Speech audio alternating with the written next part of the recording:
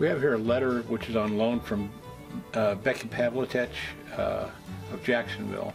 The letter is from one of her relatives, uh, a Elias Stockton, uh, who joined the Confederacy.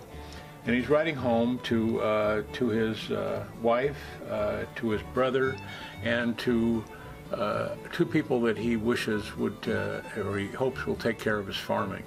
Uh, the letter doesn't really express his concerns. He, he's uh, worried about the health of his family, their well-being. He's, he's left, left them uh, in a lurch, uh, as many did in the Civil War. They'd never been separated from their homes. Uh, the wives suddenly were responsible for everything, the finances, the farming, the whole thing.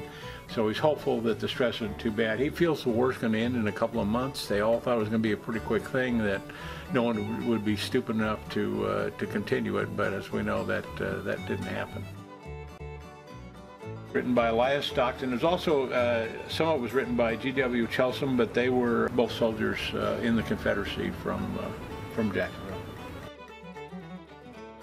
A lot of folks have stuff that they've just kept in a closet, and uh, and they don't. The, the rest of the community doesn't get to appreciate it, uh, and and sometimes those things get lost. Uh, they get sold on a, some auction site for a few dollars, when in fact they're real treasures of the community. We appreciate Becky loaning this to us uh, as usual. It's amazing what we have in our community.